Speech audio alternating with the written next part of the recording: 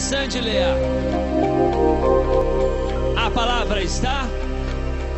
Está correta. Certa palavra para Bruno Roberto Santos, 15 anos da cidade do Rio. Pode abrir a porta aqui da cabine das letras. O primeiro finalista do Soletrão 2009, Bruno Roberto Santos, de 15 anos, do Rio de Janeiro.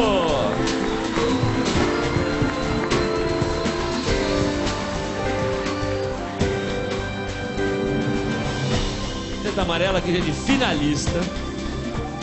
Semana que vem você vai estar ali sentado de amarelo. Pode pegar. E na final do Soletrando, ao vivo. Tá cheirosa? Tá boa.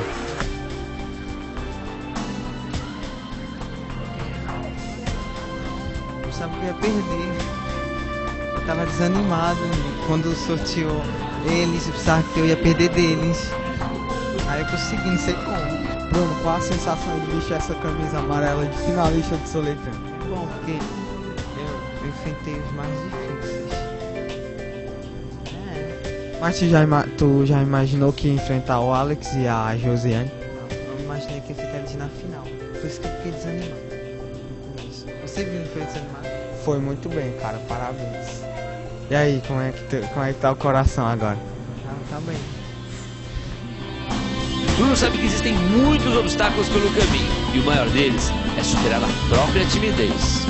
Abre o ombro, vai ajudar, hein? Abre o ombro. Campeão. Levanta esse pescoço. Portão. Solta essa camisa aqui, um botãozinho aí, ó. Aê, garoto! Eu acho que quem faz o soletano é como um atleta. Ele tem, ele tem que se esforçar, se concentrar e ganhar. É como uma competição qualquer.